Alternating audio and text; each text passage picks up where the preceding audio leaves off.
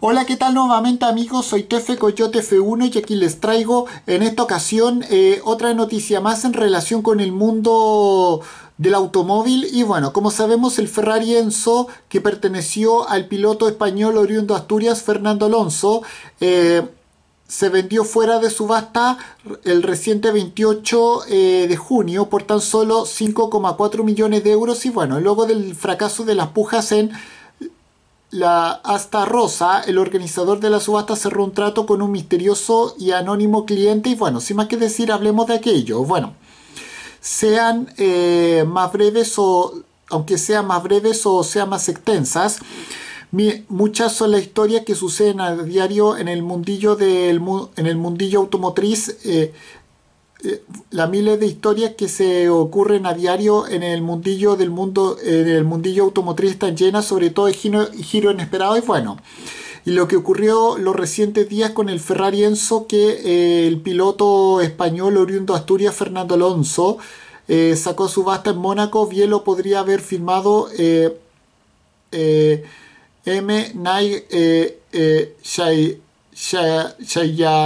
Malan y bueno, y es que luego de pasar por la asta rosa sin una puja ganadora, eh, parece que este misterioso eh, eh, cliente pretendiente lo compró finalmente por la nada despreciable cantidad de 5,4 millones de euros, algo así como algo así como 500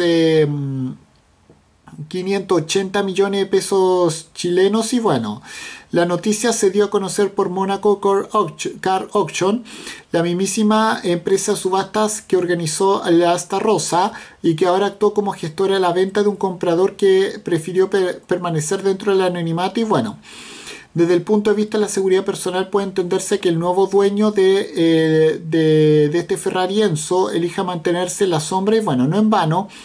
El del piloto asturiano Fernando Alonso es, como bien indica su placa de identificación, el Escosa, el Escoca eh, número 1, el primerísimo de los 400 ejemplares eh, Enzo construidos entre los años 2002 y 2004. Y bueno, esto viene confirmado y certificado por su respectivo dossier rojo de Ferrari Classic con el alto valor añadido que conlleva este coche. Y bueno, por si fuese poco, además se trata de un automóvil que tuvo una vida tranquila como lo muestran eh, los apenas 4.800 kilómetros que están en su odómetro, según detallan desde Monaco Car Auction, el mismísimo piloto asturiano eh, encargó una revisión exhaustiva de este coche antes de cedérselo para la subasta, por lo que es de esperar que esté listo para girar la llave y poder disfrutarlo. Y bueno, eso también es lo que desea el bicampeón mundial. Eh, el bicampeón mundial de Fórmula 1 asturiano, quien en un video mensaje grabado para el posible comprador recordaba lo feliz que fue eh, lo que lo feliz que él fue